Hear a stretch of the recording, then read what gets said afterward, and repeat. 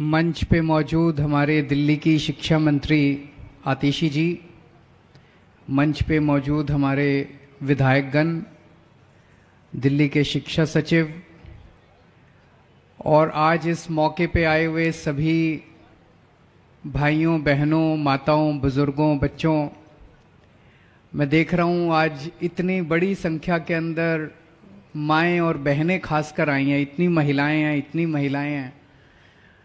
बच्चों की पढ़ाई की चिंता माँ बाप दोनों को होती है, लेकिन माँ को ज़्यादा होती है। 24 घंटे मेरे को याद है जब मैं भी छोटा था, मेरी माँ मेरे पीछे लगी रहती थी, मेरे को पढ़ाया करती थी। पिताजी तो शाम को आते थे, पूछ लेते थे हाँ भाई ठीक ठाक चल रहा है? हाँ जी ठीक ठाक चल रहा है। लेकिन माँ जो है, वो बच्चे का बहुत ख्याल रखती है। तो आज इतनी बड़ी संख्या के अंदर माएँ और बहनें आई हुई हैं, और मैं समझता हूँ कि वो इस मौके में शिरकत करने के लिए आई हैं कि जब उनके बच्चों का स्कूल जो है वो बहुत शानदार बनने जा रहा है। आज उसकी आधारशिला रखी गई है। मैं समझता हूँ पढ़ाई का स्तर तो पहले से ही बहुत अच्छा हो गया यहाँ पे। जैसे अभी आतिशी जी बता रही थी कि यहाँ पे पढ़ाई का स्तर इतना ऊँचा हो गया कि फ्रेंच, जर्मन, जापानीज और स्पेनिश चार विदेशी भाषाएँ पढ़ाई जाती हैं। मैं चैलेंज करता हूँ पूरे दिल्ली में जितने बड़े बड़े इतने बड़े बड़े प्राइवेट स्कूल हैं। आप उठा के देख लो, ये चारों लैंग्वेज अगर किसी और स्कूल में पढ़ाई जाती हो तो मैं अपना नाम बदल लूँगा। किसी स्कूल में नहीं पढ़ाई जाती। आपके बच्चे के स्कूल में, अब सरकारी स्कूल में पढ़ाई जाती है। कितना बड़ा बदलाव आ गया। और अब इसकी बिल्डिंग भी सुधर जाएगी। अभी तक तो थोड़ी बिल्डिंग में देख रहा था। जैसे वो टिपिकल सरकारी स्कूल होते हैं, वैसे सरकारी स्कूल टाइप बिल्डिंग है। लेकिन अभी तक विदेशी भाषाएँ पढ़ा रहे थे। अब विदेशी बिल्डिंग भी बनाएँगे। जैसे अभी आतिशी जी ने कहा कि जो आपने देखी यहाँ पे इन्होंने लगा रखी है बिल्डिंग की फ़ोटो बनने के बाद ये स्कूल कैसा दिखाई देगा? जाने से पहले सारे जने देख के जाना। जैसा आतिशी जी बता रहे थे, कोलंबिया यूनिवर्सिटी, अमेरिका की यूनिवर्सिटी है, बहुत बड़ी यूनिवर्सिटी। कोलंबिया यूनिवर्सिटी जैसा स्कूल दिखाई देगा आपके बच्चों का। ऐसे लगेगा जैसे आपका बच्चा कोलंबिया यूनिवर्सिटी से पढ़ के आया। है सोचो कितना बदलाव आ गया सात आठ साल में। आठ नौ साल पहले तक दिल्ली में सरकारी स्कूलों का कितना बुरा हाल था, कितना बुरा हाल था। और आज दिल्ली के अंदर सारे सरकारी स्कूल एक के बाद एक एक के बाद एक इतने शानदार होते जा रहे हैं। बच्चों के नतीजे बहुत अच्छे आ रहे हैं। बच्चों की पढ़ाई बहुत अच्छी हो गई है। पहले मजबूरी में लोग अपने बच्चों को सरकारी स्कूल में भेजते थे, लेकिन अब प्राइवेट स्कूल से भी लोग अपने बच्चों का नाम कटा कटा के सरकारी स्कूल में भर्ती करा रहे हैं। ये एक बहुत बड़े गर्व की बात है, बहुत बड़ी क्रांति आई है। जब हमारा देश आज़ाद हुआ था 1947 में, तब ज़्यादा प्राइवेट स्कूल नहीं होते थे, सरकारी स्कूल होते थे। तो जितने आईएएस आईपीएस अफसर भी बनते थे, वो भी सरकारी स्कूलों के ही पढ़े होते थे। जितने बड़े बड़े वैज्ञानिक बनते थे, वो भी सरकारी स्कूलों के ही पढ़े होते थे। जितने बड़े बड़े अरबपति वगैरह बनते थे, वो भी उनमें से भी कई सरकारी स्कूलों के पढ़े होते थे। लेकिन आज़ादी के बाद से बड़ी तेज़ी के साथ। मैं तो समझता हूँ षड्यंत्र के तहत बड़ी तेज़ी के साथ सरकारी स्कूलों का बेड़ा गर्क कर दिया गया और बहुत बड़े स्तर के ऊपर प्राइवेट स्कूल बनते गए, प्राइवेट स्कूल बनते गए पूरे देश भर में। और ये हालत ये हो गई नब्बे के दशक में और 2000 में। देश भर में सरकारी स्कूलों का तो बेड़ा गर्क कर दिया और प्राइवेट स्कूल इतने सारे हो गए। प्राइवेट स्कूलों ने लूट मचा दी। जब मर्ज़ी फ़ीस बढ़ा देते थे, जब मर्ज़ी कुछ भी पैसे लूट, सारे प्राइवेट स्कूल खराब नहीं है, पर कई स्कूल जो है उन्होंने लूट मचा रखी थी। तो माहौल ये होगा कि गरीबों के बच्चे सरकारी स्कूल में जाएँगे। सरकारी स्कूलों में पढ़ाई नहीं है। पढ़ाई बहुत खराब होती थी। जिसके पास भी पैसा है, वो प्राइवेट स्कूल में जाएगा। जो गरीब का बच्चा सरकारी स्कूल में पढ़ेगा, और सरकारी स्कूल में पढ़ाई नहीं है तो बड़ा होकर उसका कोई कैरियर नहीं है, वो भी अपने माँ बाप की तरह कुछ छोटा मोटा काम करके वो भी गरीब रह जाएगा। तो ऐसा एक वो बन गया कि गरीब का बच्चा गरीब रहेगा, अमीर का बच्चा अमीर बनेगा, पैसे वाले का बच्चा पैसे वाले बड़ा होकर कुछ डॉक्टर इंजीनियर बनेगा, गरीब का बच्चा जो है वो गरीबी में जिएगा। इस माहौल को बदला है पिछले आठ साल के अंदर। अब सरकारी स्कूलों के बच्चे वो भी बड़े बड़े सपने देखने लगे हैं। सरकारी स्कूलों के बच्चे भी डॉक्टर, इंजीनियर, वकील, आईएएस, आईपीएस बनने लगे हैं। मैं आईआईटी से पढ़ा हूँ। आईआईटी देश का सबसे बड़ा इंजीनियरिंग कॉलेज है। आईआईटी में एडमिशन लेने के लिए बड़ी मुश्किल होती है। मैं आईआईटी से पढ़ा था। मेरे को पता है कितना मुश्किल होता है। अब हमारे सरकारी स्कूलों के, दिल्ली के सरकारी स्कूलों के बच्चे आईआईटी में जा रहे हैं। मेरे को बड़ा अच्छा लगता है। कि जिस कॉलेज से मैं पढ़ा, उस कॉलेज में अब हमारे सरकारी स्कूलों के बच्चे जा रहे हैं। अब हमारे सरकारी स्कूलों के बच्चे ऑल इंडिया मेडिकल में admission all India medical medical का सबसे बड़ा कॉलेज है। वहाँ पे एडमिशन ले रहे हैं। तो बहुत बड़ा, बड़ी क्रांति आई है ये। और पिछले आठ साल के अंदर दिल्ली में ये जो क्रांति आई है, इस क्रांति के पीछे एक ही शख्स है। मनीष सिसोदिया।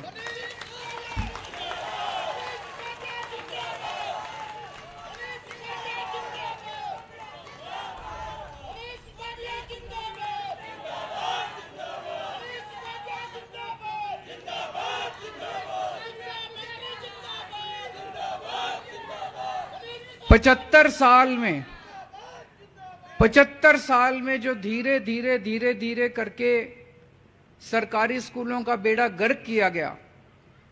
गरीबों ने तो सपना देखना ही बंद कर दिया था। गरीबों के बच्चों ने तो सपने देखने ही बंद कर दिए थे। उनको तो लगता ही नहीं था कि हम भी कुछ बन सकते हैं। जिस शख्स ने पता नहीं, कुदरत कहते हैं ना, समय एक जैसा नहीं रहता, समय बदलता है। तो अपने देश का भी समय बदल रहा था। देश की किस्मत थी कि मनीष सिसोदिया जैसा शख्स आया और उसने दिल्ली के अंदर ये शिक्षा क्रांति करके दिखाई। और आज दिल्ली की देखा देखी पूरे देश में गरीबों के बच्चे सपने देखने लगे उनको लग रहा है एक दिन हमारे राज्य के अंदर भी ठीक होगा सब कुछ।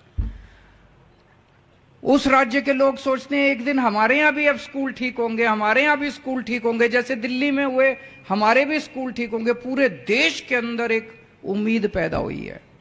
तो दिल्ली के अंदर जो काम हुआ, वो मनीष सिसोदिया जी ने किया। लेकिन स्कूलों को ठीक करने वाले को भी इन्होंने जेल में डाल दिया। बताओ, स्कूलों को ठीक करने वालों को, गरीबों के बच्चों को, पढ़ाने वालों को कौन जेल में डालता है? कहते हैं मनीष सिसोदिया ने भ्रष्टाचार करा। मैंने कहा, जी, भ्रष्टाचार करने वाला तो रात को बैठ के जो भी पैसे कमाएगा, करोड़, दो करोड़, सौ करोड़, दो सौ करोड़ वो रात को बैठ के दारू पिएगा, गलत काम करेगा। मनीष सिसोदिया रोज सवेरे छह बजे उठ के सरकारी स्कूलों का दौरा करने जाते थे। स्कूलों में ठीक ठाक चल रहा है सब कुछ। बताओ ऐसा कौन सा भ्रष्टाचारी आदमी है जो सवेरे छह बजे उठ के सरकारी स्कूलों के दौरे करने जाता है? हो सकता है कोई। कोई भ्रष्टाचारी आदमी बच्चों के स्कूलों के लिए काम नहीं करता, कोई भ्रष्टाचारी आदमी दौरे करने नहीं जाता सरकारी स्कूलों के। पर यह भी है कि जब आप सच्चाई के रास्ते पे चलते हो, सच्चाई का रास्ता बहुत मुश्किल है। बहुत कांटे हैं, बहुत कांटे हैं। हम भी अगर आम आदमी पार्टी वाले भी पैसे खाने शुरू कर देते, गलत काम करने शुरू कर देते, थोड़े बहुत इनको पहुँचा देते, ये भी खुश रहते कहाँ मनीष सिसोदिया को जेल में डालते, इनका भी पेट भरा रहता। लेकिन हमने ऐसा करना नहीं था, हमने तो सच्चाई के रास्ते पे चलना था। तो जब आप सच्चाई के रास्ते पे चलते हो तो बहुत कठिनाइयाँ आती हैं। सारी असुरी शक्तियाँ। भगवान राम को नहीं छोड़ा, इन्होंने चौदह वर्ष वनवास भेज दिया। इतिहास उठा के देख लो, जितने महापुरुष हुए, किसी को नहीं बख्शा। सारी असुरी शक्तियाँ, सारी भ्रष्टाचारी ताकतें सारी इकट्ठी हो जाती हैं। और उस आदमी के पीछे पड़ जाती हैं कि इसको रोको इसको रोको इसको रोको। ये बच्चों को कैसे पढ़ा रहा है? बच्चे पढ़ लिख गए तो ये बच्चे बड़े होकर बड़ी दिक्कत हो जाएगी। तो जो जो लोग इस देश के अंदर तरक्की नहीं चाहते जो जो लोग इस देश के अंदर गरीबों के बच्चों को पढ़े और लिखे नहीं देखना चाहते, वो सारे इकट्ठे हो गए, उन्होंने पकड़ के मनीष को जेल में डाल दिया। राजा हरिश्चंद्र की कहानी सुनी आप लोगों ने? सुनी है? कितना बड़ा राजा था। कितना सत्यवादी राजा हरिश्चंद्र कहते हैं हम लोग, कितना बड़ा राजा था। कहते हैं कभी झूठ नहीं बोला उन्होंने, इसीलिए कहते हैं सत्यवादी राजा हरिश्चंद्र की सत्य बोलेंगे, चाहे जान चली जाए, चाहे राजपाट चला जाए। उसकी वजह से उनका पूरा राजपाट चला गया सत्य बोलने की वजह से। और हम सुनते हैं कि कैसे उनके बेटे की मौत हो गई। और जब उनकी पत्नी जो है शमशान घाट पे अपने बेटे को जलाने के लिए गई तो वहाँ पे राजा हरिश्चंद्र जो है, उनका राजपाट चला गया था। शमशान घाट की ज़िम्मेदारी उनकी थी, लेकिन उन्होंने अपनी पत्नी से अपने बेटे का भी कर लेने से नहीं छोड़ा। ये हालत हो गई थी। तो प्रकृति जो है, सत्य बोलने वालों की परीक्षा लेती है। भगवान जो है, वो सत्य बोलने वालों का सच्चाई के रास्ते पे चलने वालों की परीक्षा लेता है। हर एक की ज़िंदगी में ऐसे पन पल आते हैं जब भगवान कड़ी परीक्षा लेता है। मनीष जी की भी परीक्षा ले रहे हैं भगवान। और मुझे पूरा यकीन है कि मनीष जी, जैसे अब आपके बच्चों के नंबर अच्छे आते हैं, आपकी तरह, बच्चों की तरह अच्छे नंबर लेके परीक्षा में पास होंगे और भगवान उनसे संतुष्ट होंगे और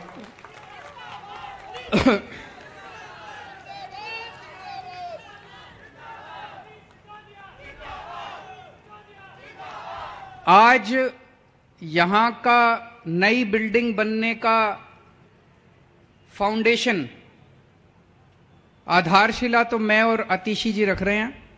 ये स्कूल एक साल बाद बन के तैयार हो जाएगा फरवरी में। इस स्कूल का उद्घाटन मैं और मनीष सिसोदिया करेंगे।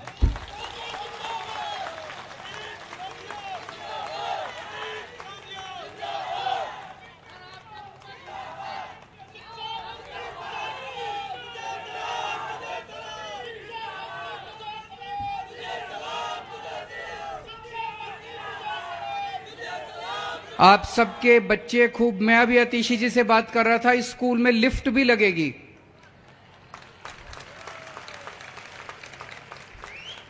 स्विमिंग पूल भी है कि नहीं है?